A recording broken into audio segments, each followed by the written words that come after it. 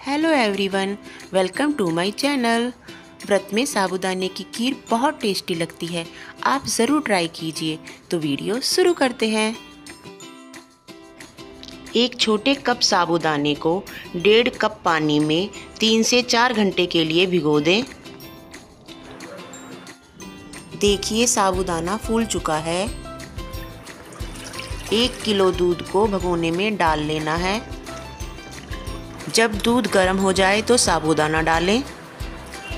पाँच मिनट तक medium flame पर चलाते रहना है। गैस को मीडियम रखें, नहीं तो खीर नीचे लग जाएगी।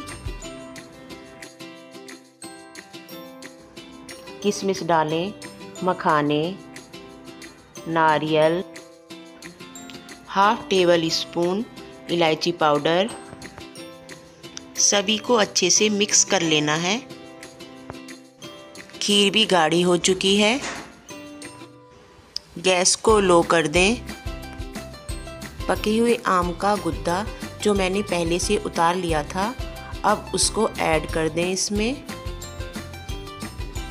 आम के पल्प को लास्ट में डालना है, नहीं तो हमारी खीर फट जाएगी। अब इसमें चीनी डालें। मीठा कम और ज़्यादा अपने टेस्ट के हिसाब से कर सकते हैं। हमारी खीर गाढ़ी हो चुकी है और ये पूरी तरह से रेडी है तो अब गैस को बंद कर दें।